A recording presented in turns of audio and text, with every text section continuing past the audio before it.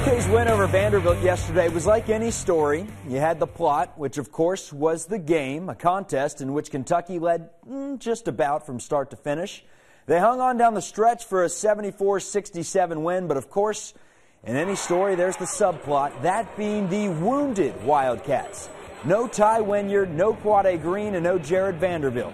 Kentucky, however, is 2 0 with only seven scholarship players, but let's not forget that the two teams they beat are a combined 1 and 9 in conference play. Before game time, people were speculating whether Jared Vanderbilt would play. He was in full uniform, participated in pregame drills. Obviously, he would not check in. Here's Cal on life as a wounded Kentucky Wildcat. I didn't know if Jared was going to play before the game. I was doing the board, and I'm just acting like he's not here. And if he is, if they are, they are.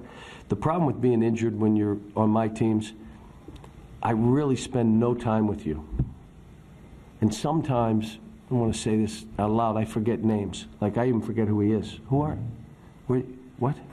Because I got to focus on the guys that I'm coaching right now. Uh, they got to get healthy and be ready to come back and, and be ready to go. Jared the same. UK led about 90% of the game, but things got interesting late. They fouled Riley LaChance on a three. He was a 90% shooter. Key word was. He missed all three, and UK survived. Five SEC games in the books. They've all been battles. That makes UK battle tested. We really tested, especially in the last two games, with them being so close, so close down the stretch. But uh, yeah, I think that's how it's going to be all season. We're going to continue to grow, and, and we're going to make strides, and we're going to be really good by the end of the season. Every team's going to come at us with pretty much everything, so we got to be able to uh, show that we're mature and be able to uh, make winning plays down the stretch, be able to get uh, get stops on defense, and show people that we can actually win games in the SEC.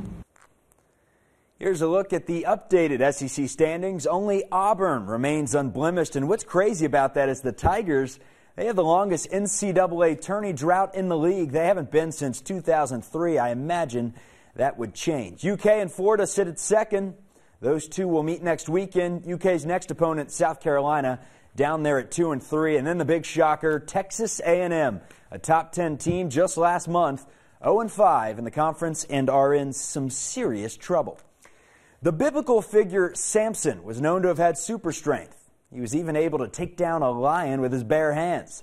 However, the strength only remained if he kept his long locks.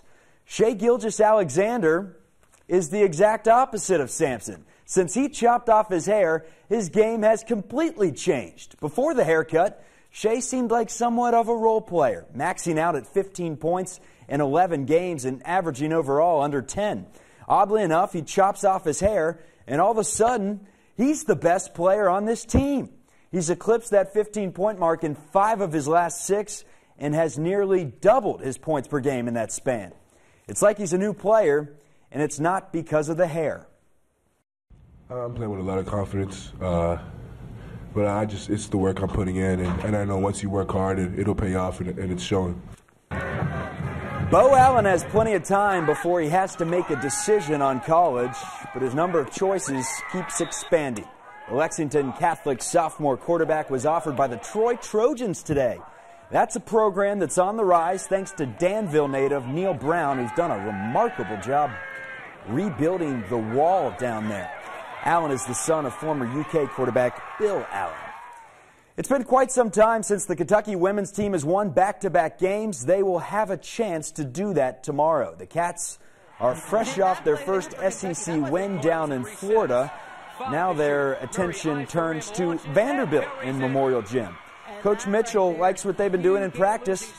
Can that translate over tomorrow night?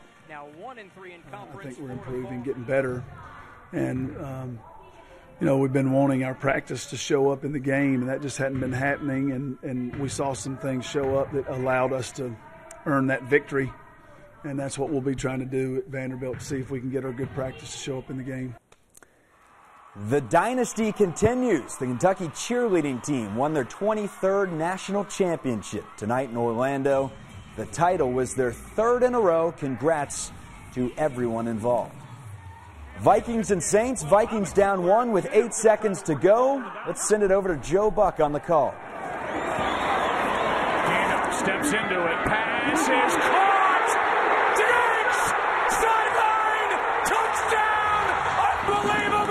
Is incredible. Diggs sending the Vikings to the NFC Championship game as time expires against the Eagles.